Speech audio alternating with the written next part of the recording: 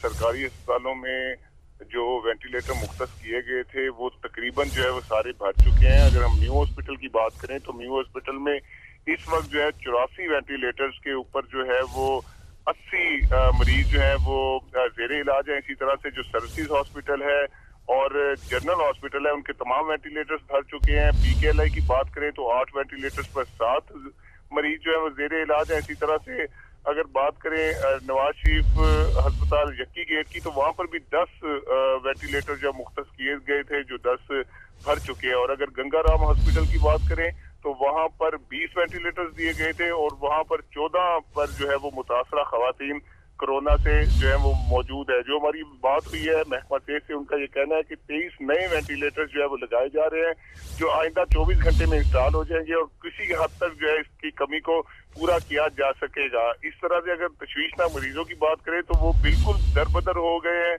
उनको H D U oxygen beds के बाद जब वेंटिलेटर की ज़रूरत पड़ती है तो वो हॉस्पिटल्स में बिल्कुल भी नहीं अवेलेबल।